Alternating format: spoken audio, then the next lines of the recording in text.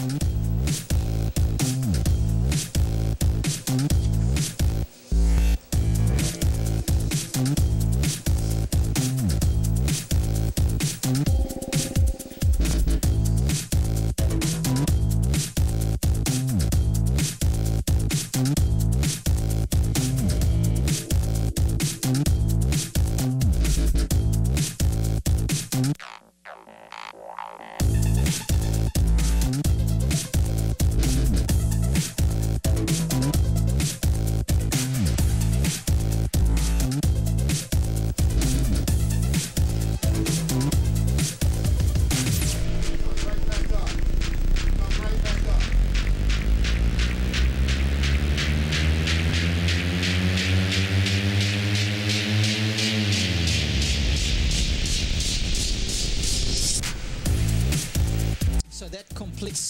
Quarterfinal lineup. Djokovic and Isner. Tursunov against Del Potro. He's the odd man out, is uh, Tursunov uh, being unseeded. Federer and Nadal, well, that could be a cracker. Let's hope that it uh, turns out just that way. And Berdych will take on Andy Murray.